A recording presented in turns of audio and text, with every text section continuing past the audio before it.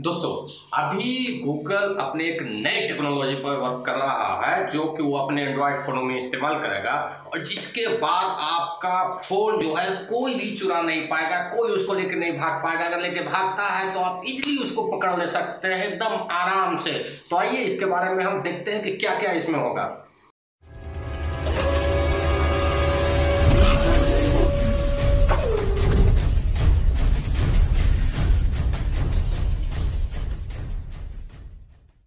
अभी play store में एक ऐप है जिसको फाइंड माई डिवाइस करके नाम है, जिसके ज़रिए आप अपने खोए हुए डिवाइस को खोज सकते हैं। लेकिन इसके लिए पहले जो है, उसमें आपका लॉगिन करना होता है और डिवाइस में भी वो आपका साइन इन होना चाहिए, तब जाकर के वो खोज पाता है। लेकिन आप तो जानते ही हैं, जैसे ही चोर आपका डिवाइस को चुराता है, सबसे पहले वो सिम निकाल के फेंक देता है।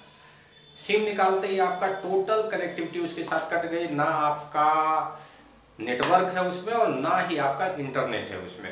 तो जो भी आप साइन इन किए हैं, जो भी उसमें डाटा एंट्री किए वो सारा चीज़ तब तक नहीं आपको एक्सेस होगा जब तक कि वो इंटरनेट के साथ कनेक्ट नहीं हो और उसमें आपका जो आईडी है वो साइन इन नहीं हो। सिम निकाल के फेंकने के बाद चोर आपका मोबाइल लेके जाएगा किसी दुकान में और उसको पूरी तरीका से फॉर्मेट करवा देगा। जितना भी उसका ऑपरेटिंग सिस्टम था, वो नया डलवा देगा।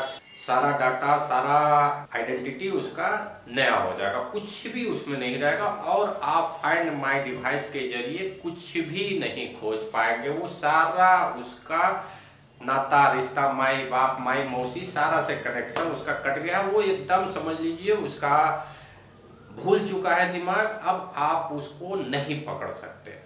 नया सिम डालेगा इंजॉय करेगा। इसके बाद आप सिर्फ़ उसको आईएमआई नंबर के ज़रिए ट्रैक कर सकते हैं, जिसकी अथॉरिटी आपके पास नहीं है। आईएमआई नंबर से ट्रैकिंग सिर्फ़ ही पुलिस विभाग या जो भी सुरक्षा से जुड़ी एजेंसियाँ हैं, वही कर सकती है आपके पास, उसका कोई व्यवस्था नहीं है। तो आप कुछ नहीं कर सकते। मन में सोच के रह जाइए, अगर पुलिस के पास जाइएगा हज़ारों नखरे उसके हैं, हज़ारों तरह के सवाल हैं, जिसको जवाब देते देते आप थक जाइएगा, आपको लगेगा, इससे अच्छा तो हम मोबाइल ही नया खरीद सकते, कौन सा लफड़ा में आके फंस गए। इन चीज़ों को गूगल ने भी समझा और उन्होंने सोचा कि कोई नई टेक्नोलॉजी लाई जाए जो कि मोबाइल के फॉर्मेट हो जाने के बाद भी काम करे। वैसे तो ऐसी टेक्नोलॉजी पहले से भी है एमआई वगैरह के या सैमसंग एमसंग का जो मोबाइल आप यूज़ करते हैं, उसमें एमआई में जो उसका अपना अकाउंट है, वो आप फॉर्मेट कर दीजिएगा तो फिर से लॉगिन खोजेगा कि आप इसी जो आपका एम अकाउंट बना हुआ है, इसमें लॉगिन कीजिए, तब ये आपका मोबाइल खुलेगा लॉक हो जाता है।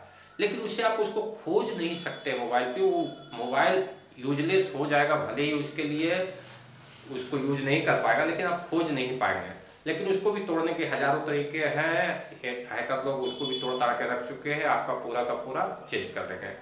तो इसके लिए गूगल सोच रहे थे तो अभी हाल फ़िलहाल में एप्पल ने एक एयर टैग करके चीज़ लॉन्च की है, जो कि आप अपने किसी भी डिवाइस के साथ टैग कर दीजिए।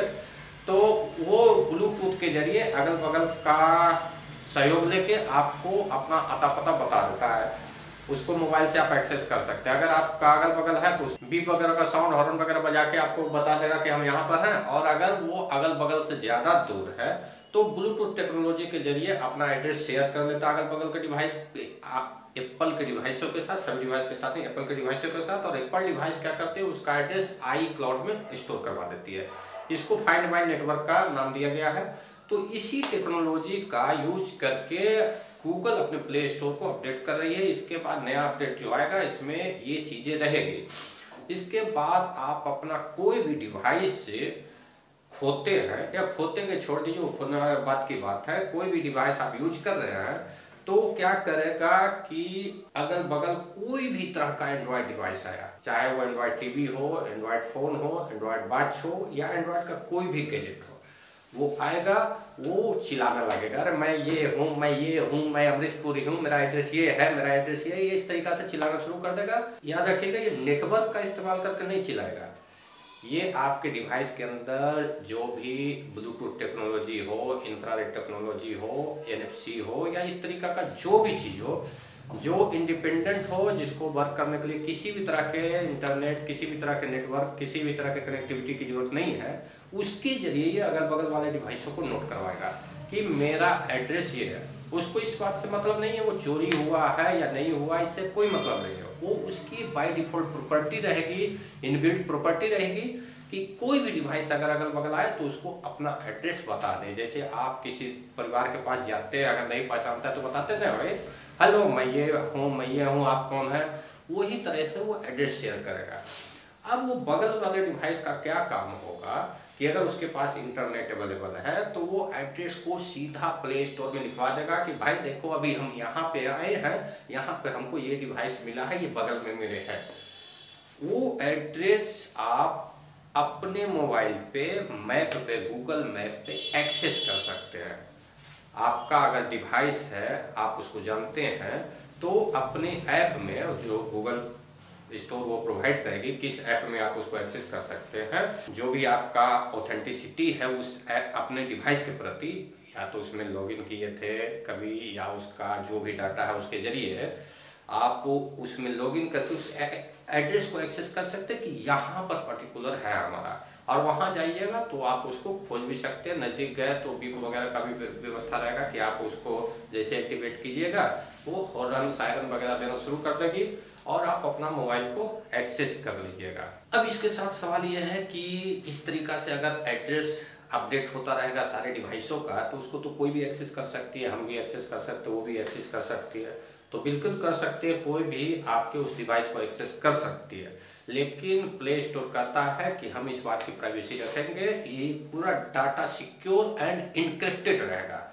यानी जिसका मोबाइल है, जो अपने ऐप में पहले से उसको सेटअप करके रखा है कि ये मेरा डिवाइस है, वही उस डाटा को एक्सेस कर पाएगा। यानी आपका डिवाइस जो डाट एड्रेस रिले किया है किसी और डिवाइसों के ज़रिए। और हाँ ये डिवाइस लगातार अपडेट होते रहेंगे एड्रेस मान लिया कि अभी किसी और डिवाइस के साथ था। यहाँ पर से निकल गया या यहीं पर कोई और डिवाइस आया एंड्रॉयड तो उसको भी एड्रेस बताएगा और वो भी तुरंत उसको अपडेट करेगा। यानी उसका कंटिन्यूस अपडेट प्ले स्टोर में होता रहेगा कि इसका एड्रेस कहाँ पे है। और उस इनक्रिप्टेड डाटा को आप और केवल आप एक्सेस कर सकते हैं, कोई दूसरा एक्सेस नहीं कर सकता और आप अपने डिवाइस तक पहुँच जाइएगा। ये पूरी टेक्नोलॉजी अभी गूगल स्टोर गूगल डेवलप कर रही है, जो आगे के आने वाले उम्मीद है एंड्रॉयड 12 में। ये इनबिल्ट आए हुए हैं। तो इंतज़ार करते हैं इस फ़ंक्शन का। मिलते हैं अगले वीडियो में। धन्यवाद।